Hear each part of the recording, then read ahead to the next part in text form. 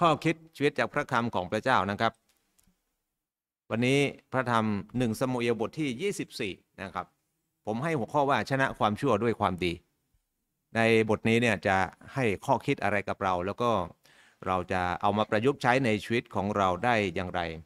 เรามาดูด้วยกันเลยครับ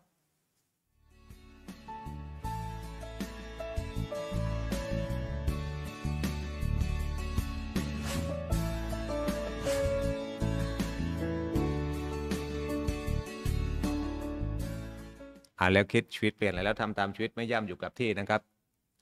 อ่านไม่ใช่เพื่อได้ความรู้แต่อ่านแล้วให้ได้ความคิดนั่นหมายความว่าเราก็อ่านไปด้วยแล้วก็คิดตามไปด้วย แล้วก็ความคิดที่เราคิดเราจะเอามาใคร่ควร แล้วก็ย่อยแล้วก็เอาไปประพฤติปฏิบัติจริง ๆ ชีวิตของเราจะเป็นเหมือนอาคนที่มีสติปัญญาสร้างบ้านบนศิลาเหมือนอย่างที่พระเยซูคริสต์ตรัสไว้นะครับ อะไรที่เราอ่านคิดใคร่ควรแล้วเอาไปทำเราก็จะเข้าใจว่าพระคัมภีร์เนี่ยบอกอะไรกับเรานะสอนอะไรกับเราแล้วก็สร้างอะไรสร้างชีวิตของเราอย่างไรนะครับ เราจะมาอ่านด้วยกันเลยนะครับ พี่น้องที่มีพระคัมภีร์ก็เปิดอ่านเลยนะครับหนึ่งซามูเอลบทที่ 24 ใครที่ไม่มีผมเตรียมโพลพอยให้ก็ดูตามอ่านตามนะครับ ข้อที่หนึ่งต่อมาเมื่อซาอูลเสด็จกลับจาก การไล่ตามพวกฟิสเตียแล้ว มีคนมาทูลว่าดูเถิดดาวิดอยู่ในถิ่นทุรกันดารเอนเกดี แล้วซาอูลก็ทรงนำพลสามพันคนที่คัดเลือกจากคนอิสราเอลทั้งหมดไปค้นหาดาวิดกับพวกของท่านที่หินเลียงผา และพระองค์เสด็จมาที่คอกแกะริมทาง ที่นั่นมีถ้ำแห่งหนึ่ง และซาอูลก็เสด็จเข้าไปปลดทุกข์ ส่วนดาวิดกับพวกของท่านนั่งอยู่ที่ส่วนลึกที่สุดของถ้ำพวกของดาวิดก็เรียนท่านว่า ดูเถิดวันนี้เป็นวันที่พระยาเวตรัสกับท่านว่า ดูเถิดเราจะมอบศัตรูของเจ้าไว้ในมือของเจ้า แล้วเจ้าจะทำกับเขาตามที่เจ้าเห็นควร แล้วดาวิดก็ลุกขึ้นย่องเข้าไปตัดชายฉลองพระองค์ของซาอูล หลังจากนั้น ดาวิดก็สามนึกผิด เพราะท่านตัดชัยฉลองพระองค์ของซาอูลท่านพูดกับพวกของท่านว่า ขอพระยาเวทรงห้ามข้าพเจ้าไม่ให้อ่าไม่ให้ทำสิ่งนี้ต่อเจ้านายของข้าพเจ้า ผู้ที่พระยาเวทรงเจิมไว้คือที่จะเหยียดมือออกต่อสู้กับพระองค์ เพราะพระองค์ทรงเป็นผู้ที่พระยาเวทรงเจิมไว้ ดาวิดตำหนิ คนของท่านด้วยถ้อยคำเหล่านี้ และไม่ยอมให้พวกเขาทำร้ายซาอูลและซาอูลก็ทรงลุกขึ้นออกจากถ้ำเสด็จไปตามทางของพระองค์ จากนั้นดาวิดก็ลุกขึ้นด้วย และออกไปจากถ้ำร้องทูลซาอูลว่าข้าแต่พระราชาเจ้านายของข้าพระบาท และเมื่อซาอูลทรงเหลียวดูด้านหลัง ดาวิดก็ย่อตัวลงซบหน้าถึงดิน และดาวิดทูลซาอูลว่าทำไมพระองค์จะทำไมพระองค์ทรงฟังถ้อยคำของคนที่กล่าวว่าดูเถิดดาวิดแสวงหาที่จะทำร้ายพระองค์ ดูเถิดวันนี้พระเนตรของพระบาทฝ่าพระบาทประจักษ์แล้วว่า พระยาเวทรงมอบฝ่าพระบาทในวันนี้ไว้ในมือของข้าพระบาทที่ในถ้ำและบางคนขอให้ข้าพระบาทประหารฝ่าพระบาทเสียแต่ข้าพระบาทก็ ได้ไว้พระชนของฝ่าพระบาท ข้าพระบาทพูดว่าข้าพเจ้าจะไม่ยื่นมือออกทำร้ายเจ้านายของข้าพเจ้า เพราะพระองค์เป็นผู้ที่พระยาเวทรงเจิมไว้ ทอดพระเนตรเถิดเสด็จพ่อของข้าพระบาท ขอทอดพระเนตรชัยฉลองพระองค์ในมือของข้าพระบาท เพราะข้าพระบาทตัดชัยฉลองพระองค์ออก และไม่ได้ประหารฝ่าพระบาทเสีย ขอฝ่าพระบาททรงทราบ และทอดพระเนตรเถิดว่าในมือของข้าพระบาทไม่มีความผิดหรือการกรบฏข้าพระบาทไม่ได้ทำบาปต่อฝ่าพระบาท แม้ว่าฝ่าพระบาทกำลัง ทรงล่าชีวิตของข้าพระบาทเพื่อจะทำลายเสีย ขอพระยาเวทรงพิพากษาระหว่างข้าพระบาทและฝ่าพระบาท ขอพระยาเวทรงแก้แค้นแทนข้าพระบาทต่อฝ่าพระบาท แต่มือของ ข้าพระบาทจะไม่ทำอะไรต่อฝ่าพระบาท ดังสุภาษิตโบราณว่า ความอาธรรมก็ออกจากคนอาธรรม แต่มือของฝ่าพระบาทขออภัยแต่มือของข้าพระบาทจะไม่ทำอะไรต่อฝ่าพระบาท พระราชาแห่งอิสราเอลทรงออกมาตามใคร ฝ่าพระบาททรงตามใคร ทรงไล่ตามสุนัขที่ตายแล้วหรือ ทรงไล่ตามตัว หมัดตัวหนึ่งหรือ เพราะฉะนั้นขอพระยาเวทรงเป็นผู้พิพากษา ทรงพิพากษาระหว่างข้าพระบาทกับฝ่าพระบาท ขอทอดพระเนตร ขอทรงว่าความฝ่ายข้าพระบาท และขอทรงช่วยกู้ข้าพระบาทจากหัดของฝ่าพระบาท หลังจากที่ดาวิดทูลถ้อยคำนี้ ต่อซาอูลจบแล้ว ซาอูลตรัสว่าดาวิดบุตรของข้าเอ๋ยนั่นเป็นเสียงของเจ้าหรือ ซาอูลก็ทรงส่งเสียงกันแสงเพราะขออภัยพระองค์ตรัสกับดาวิดว่า เจ้าชอบธรรมยิ่งกว่าข้าเพราะเจ้าตอบแทนข้าด้วยความดี ในเมื่อข้าเองตอบแทนเจ้าด้วยความร้าย เจ้าแสดงในวันนี้แล้วว่าเจ้าทำความดีต่อข้าอย่างไร ในการที่เจ้าไม่ได้ประหารข้าเสีย ในเมื่อพระยาเวทรงมอบข้าไว้ในมือของเจ้าแล้ว เพราะว่าใครพบศัตรูของตน เขาจะปล่อยไปโดยดีหรือ ดังนั้นขอพระยาเวประทานสิ่งที่ดีแก่เจ้า สนองการที่เจ้าได้ทำแก่ข้าในวันนี้ บัดนี้ดูเถิดข้ารู้แน่แล้วว่า เจ้าจะเป็นพระราชาแน่ และราชอาณาจักรอิสราเอลจะตั้งมั่นอยู่ในมือของเจ้า ดังนั้นบัดนี้จงปฏิญาณต่อข้าในพระนามของพระยาเว ว่าเจ้าจะไม่ตัดพงพันของข้าเสียเมื่อข้าตายไป และจะไม่ทำลายชื่อของข้าจากพงพันบิดาข้าดาวิดก็ปฏิญาณให้ต่อซาอูล แล้วซาอูลก็เสด็จกลับพระราชวัง และดาวิดกับพวกของท่านก็ขึ้นไปที่กำบังเข้มแข็ง ขอบคุณพระเจ้าพี่น้องครับนี่คือ พระชนะคำของพระเจ้าพระคัมภีที่เราได้เห็นถึง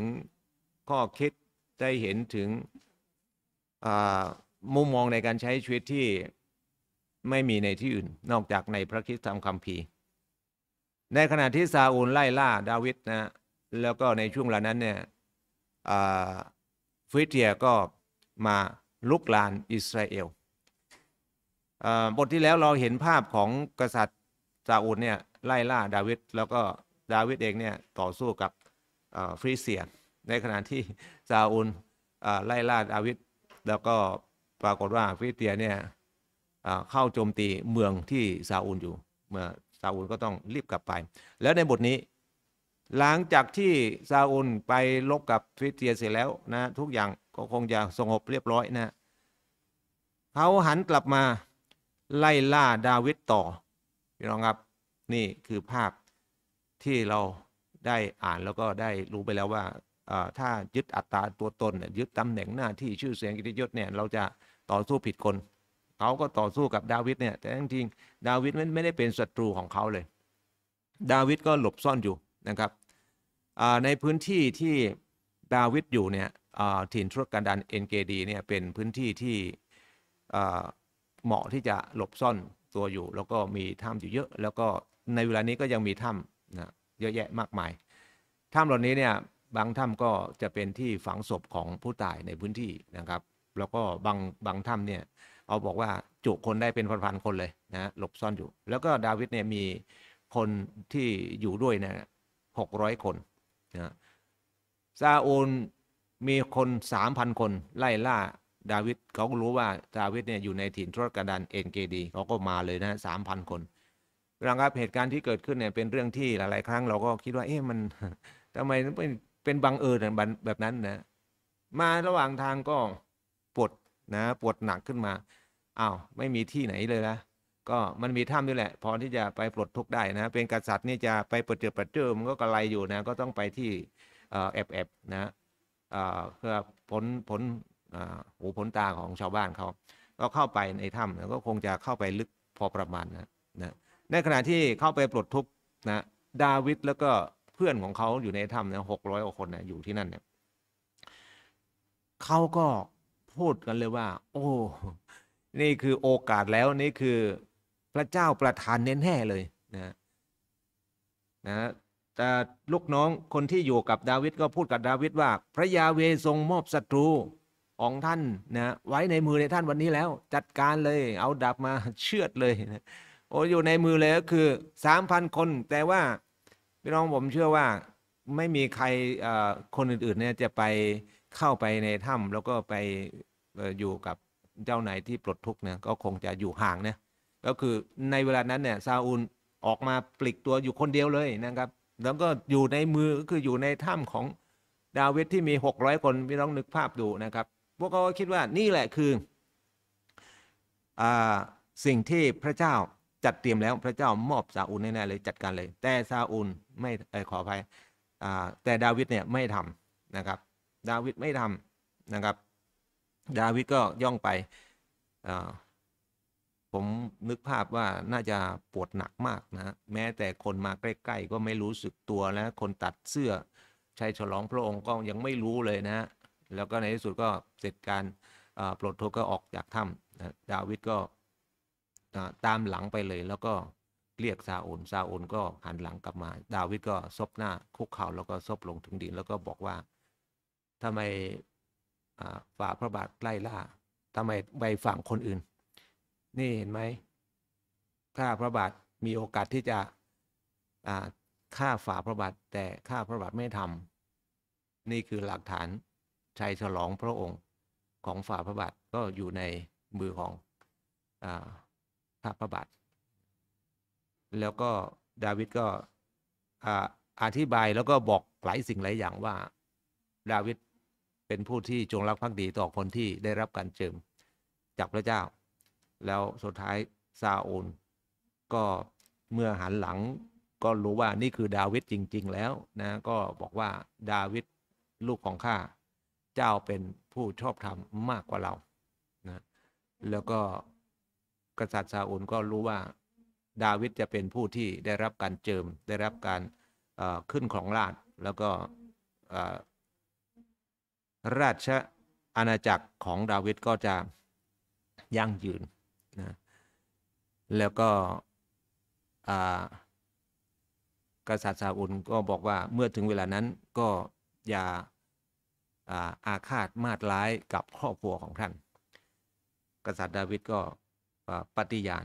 จะไม่ทำไม่ทำแน่นอนนะ กษัตริย์ดาวิดจะไม่ทำแน่นอนนะดาวิดมอบการพิพากษาการตัดสินการ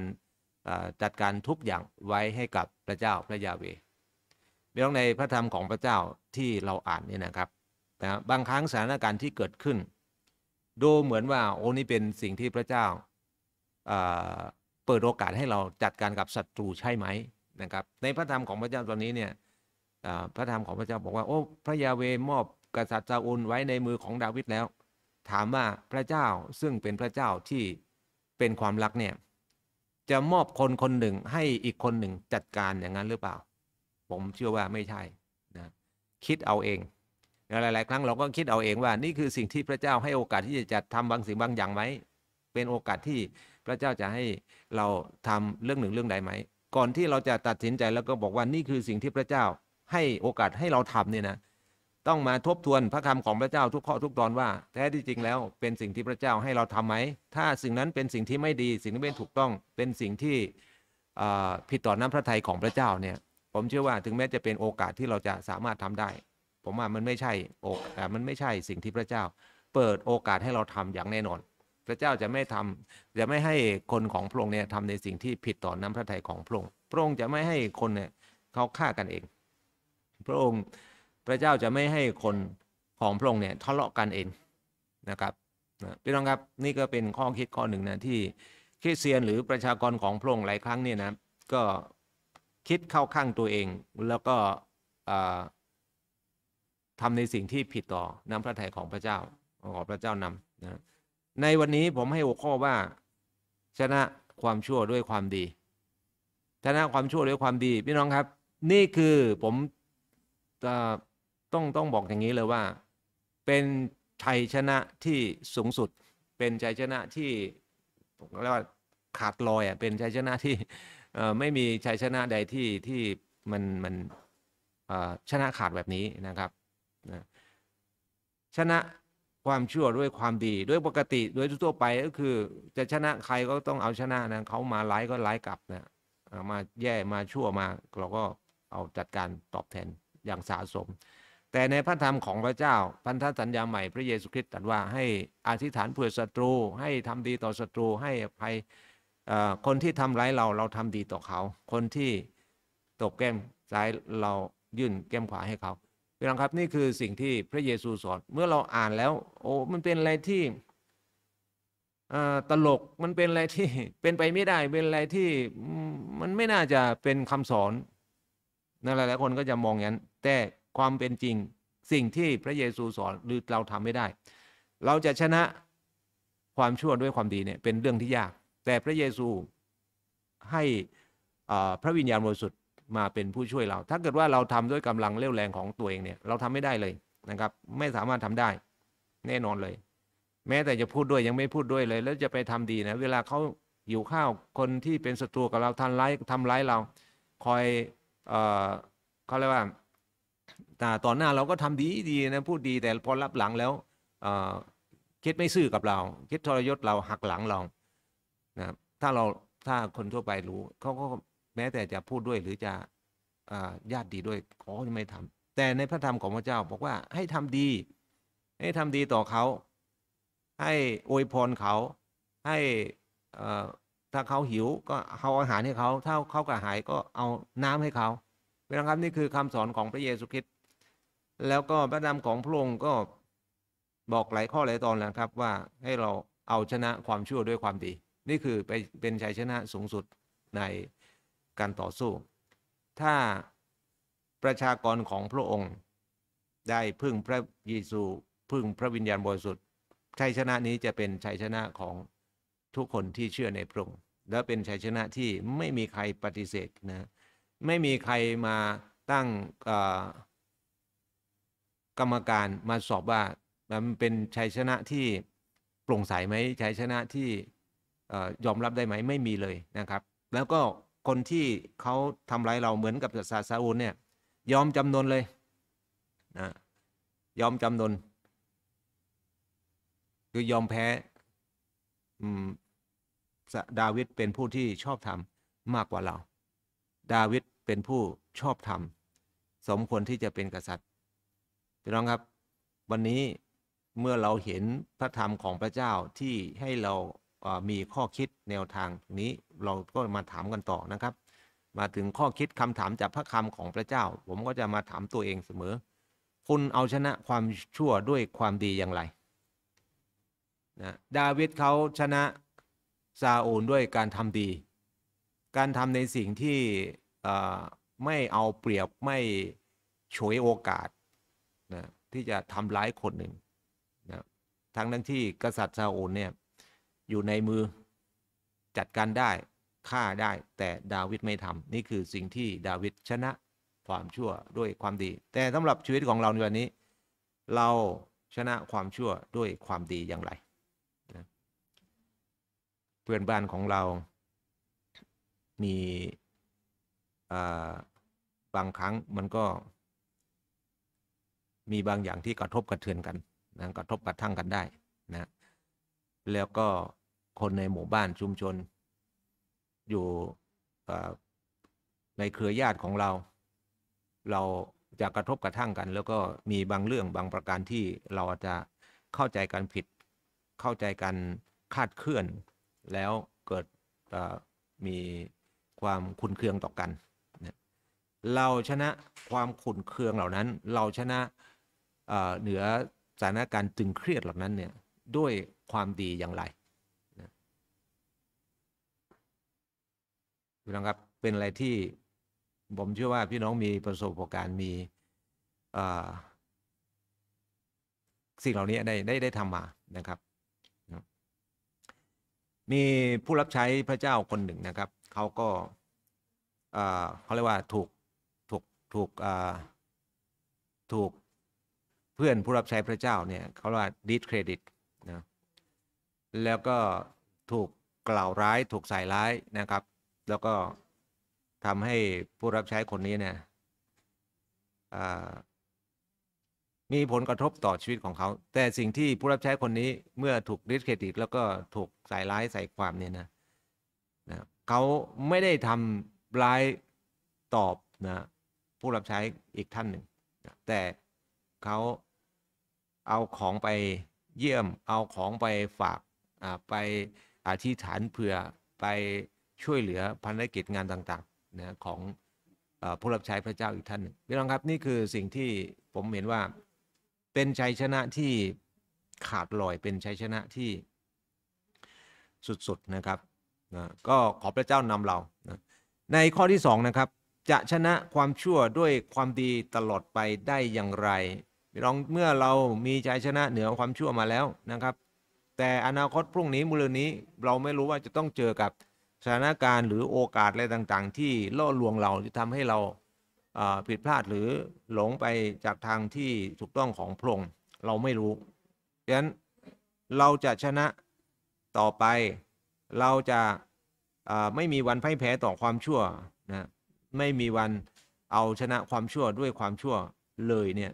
เราต้องพึ่งพระวิญญาณบริสุทธิ์อ่านพระคำของพระเจ้าอธิษฐานทุกวันระมัดระวังทุกวันแล้วก็ใคร่ควรนะคำสอนของพระองค์เอาไปทำทุกทุกวันนะครับนะสิ่งเหล่านี้จะทำให้เรามีชัยชนะเหนือความชั่วด้วยความดีตลอดไปอย่างแน่นอนนะครับ แล้วก็อีกข้อหนึ่งนะพี่น้องครับ จะหนุนใจคนรอบข้างให้เอาชนะความชั่วด้วยความดีได้อย่างไร เราจะหนุนใจเพื่อนของเราพี่น้องของเราที่เขาต่อสู้กันเขาเอาชันเอาความชั่วสู้กันด้วยความชั่วเขาอเอาความแค้นนะตอบแทนด้วยความแค้นนะเขาฝ่ายหนึ่งสัตว์มาอีกฝ่ายหนึงก็สัตว์กลับ เราอยากจะเห็นคนเหล่านี้ชนะความชั่วด้วยความดี เราจะไปบอกเขาเราจะไปเตือนเขา พี่น้องเราก็ไม่สามารถที่จะทำได้ แต่สิ่งที่เราทำได้ก็คือตัวของเราเองที่เราจะ ใช้เราจะพึ่งพระวิญญาณบริสุทธิ์ให้เราได้ชนะความชั่วด้วยความดีทำดีต่อคนรอบข้างได้ออวยพรคนรอบข้างได้ แล้วก็ทำในสิ่งที่เป็นประโยชน์ต่อคนรอบข้างได้แม้คนรอบข้างคนอื่น จะเป็นศัตรูกับเราหรือจะไม่ดีกับเราก็ตาม แล้วชีวิตของเราที่ทำดีแล้วก็มีสันติสุข แล้วก็มีความชื่นชมยินดีในการดำเนินชีวิตชีวิตที่เป็นแบบนี้ก็จะทำให้คนรอบข้างคนอื่นก็ มาหันมามองชีวิตของเรา ว่าเอ๊ะชีวิตของเรานะทำไมต้องทำดีต่อศัตรูแล้วต้องทำไมต้องอช่วยเหลือศัตรูทำไมช่วยเหลือคนที่ทำไม่ดีต่อเรา แล้วชีวิตของเราก็ยังมีสันติสุขมีความชื่นชมยินดีอยู่ได้ แต่พวกเขาเมื่อคนทำไม่ดีก็ทำไม่ดีกลับไป แทนที่จะมีความสุขกลับมีความทุกข์มากกว่าเดิม เมื่อเขาเปรียบเทียบชีวิตแบบนี้เขาก็จะเห็นถึงชีวิตที่มีสันติสุขในชีวิตของเราเนี่ยนะนะที่ เขาเองอยากจะมีด้วย เมื่อเป็นแบบนั้นเราก็จะปก็เรียกว่าเป็นพยานหรือประกาศเรื่องราวของพระเยซูกับเขาว่า ที่เราสามารถทำความดีตอบแทนความชั่วได้ ก็ไม่ใช่ด้วยกำลังของมนุษย์ แต่ด้วยกำลังของพระวิญญาณบริสุทธิ์ด้วยพระเจ้าด้วยพระพระเยซูคริสต์ช่วยเรา เมื่อเขาฟังเรื่องราวของพระเยซูก็เล่าให้พวกเขาพวกเขาฟัง วันหนึ่งเมื่อเขาต้อนรับพระเยซู ระเยซูก็จะช่วยให้เขาชนะความชั่วด้วยความดีได้เหมือนกับพวกเราเอเมนนะครับแต่เราใช้เวลานี้ที่ฐานต่อพระเจ้าร่วมกันนะครับ อะไรคือข้อคิดแล้วก็อะไรคือสิ่งที่เราจะเชื่อฟังด้วยการทำตามก็ได้พระเยซูคริสต์เจ้าเราขอบพระคุณพระองค์สำหรับข้อคิดในวันนี้ ที่เราเห็นแบบอย่างชีวิตของกษัตริย์ดาวิดชนะ ความชั่วด้วยความดี เราขอบพระคุณพระองค์ที่พระองค์ทรงนำเรา แล้วก็สอนเราช่วยเรา ให้ชนะความชั่วด้วยความดี ขอพึ่งพระองค์ ขอพระวิญญาณสิยนำพาเราตลอดไปที่เราจะไม่พ่ายแพ้ต่อการล่อลวงใด ๆ ทั้งสิ้น ที่เราจะชนะทุกสงครามทุกการต่อสู้ โดยฤทธานุภาพโดยเลี้ยวแรงกำลังที่มาจากพระองค์ อธิษฐานต่อพระองค์ร่วมกันในพระนามพระเยซูคริสต์เจ้า เอเมน ขอพระวิญญาณบริสุทธิ์ที่จะเติมเต็มให้กับพวกเราทุกๆคนนะครับหากว่าเป็นพระพรเป็นประโยชน์ก็แบ่งปันพระพรนี้ให้กับเพื่อนให้กับคนรอบข้างนะครับด้วยการแชร์กันออกไป ขอพระเจ้าอวยพรครับ